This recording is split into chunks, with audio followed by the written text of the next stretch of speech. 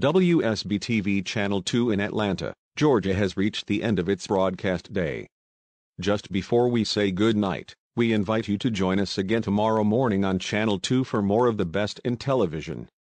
WSB TV is owned and operated by Cox Communications Incorporated and maintains studios and offices at 1601 West Peachtree Street Northeast in Atlanta. Our transmitter is located on Willoughby Way Northeast. Portions of our programming were recorded on film or videotape.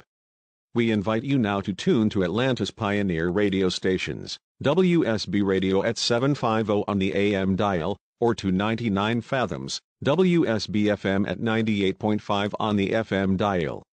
WSB TV is an equal opportunity employer. And now, our national anthem.